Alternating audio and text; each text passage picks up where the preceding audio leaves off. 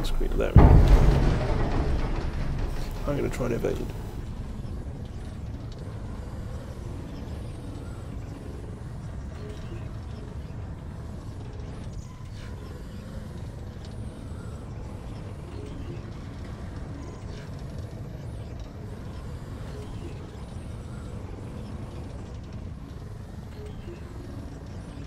No, I don't think I'm going to evade this.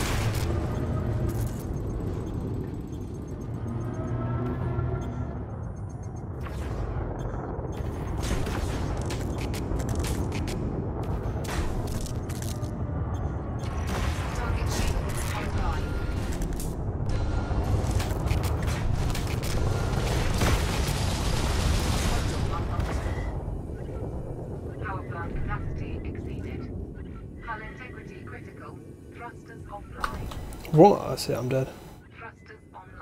That's it. Eject. Eject.